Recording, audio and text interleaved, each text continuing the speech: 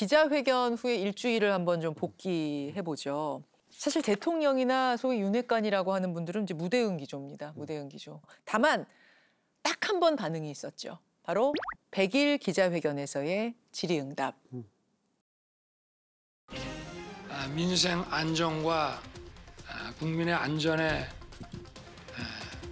뭐 매진을 하다 보니 에, 다른 정치인들께서 아, 어떠한 정치적 그 발언을 하셨는지 아, 제가 제대로 챙길 기회도 없고 제가 뭐좀 당내 민주주의에 대한 그런 고민을 많이 하다 보니 어, 대통령께서 사실 어떤 말씀을 하셨는지 어, 제대로 챙기지는 못했습니다. 어, 불경스럽게도. 예.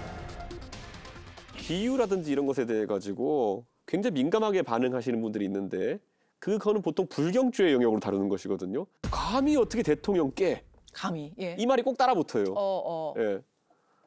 제가 이재명 후보한테 그럴 때는 그럼 왜 가만히 계셨나요, 다들? 이재명 후보한테는 제가 더한 비유도 많이 했거든요. 아니 이재명 후보는 후보였고 지금은 이제 대통령이 됐는데 여당 대표가 너무 직설적으로 가는 거 아니야? 너무 선 넘은 거 아니야? 뭐 이런 얘기 솔직히 나오는데요.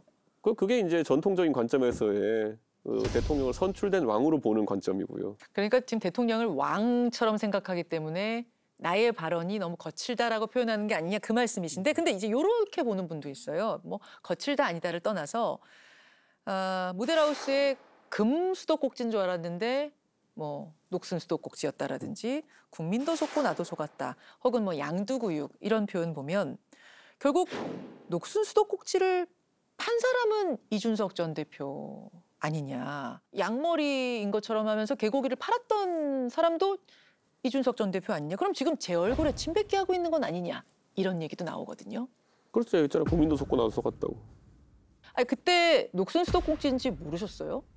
아니죠, 저는 제가 하자보수 할 수 있다 확신이 있었죠. 어. 어차피 그 정상적으로 돌아가는 당정 관계라고 하는 것은 예. 여당이 충분히 보완제 역할을 하는 겁니다. 그건 근데 대통령이 공간을 만드는 만큼 보완할 수 있겠죠. 음, 지금 상황 보면 전혀 그런 게 아니잖아요. 오히려 지난 100일을 보면은 당을 장악하기 위한 움직임이 대통령과 측근들 사이에서 있었던 것이고 그거 하나 100일 날렸기 때문에 지금 이렇게 평가가 박한 거죠. 그러니까 녹슨 수도꼭지인 줄은 알았지만 얼마든지 하자 보수해서 쓸 수 있을 건 줄 알고 팔았는데 그게 지금 안 되고 있다. 그런. 애초에 제가 조금 더 영향력이 있었다면은 애초에 녹수수도 꼭지가 납품되는 것부터 막았겠죠. 그 녹슨 수도꼭지인지 근데 국민들한테 그렇게 얘기 안 하셨잖아요. 팔 때. 녹슨 수도꼭지지만 제가 하자 하자 치유하겠습니다. 그렇게 팔지 않으셨잖아요. 좋 좋다고 파셨잖아요.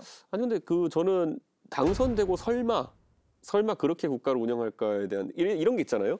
그 대통령께서 그럼 통 그 출마하셨을 때 언론에다가 하셨던 본인의 통, 통치 스타일이라는 걸 얘기하셨을 때 이렇게 얘기하셨어요.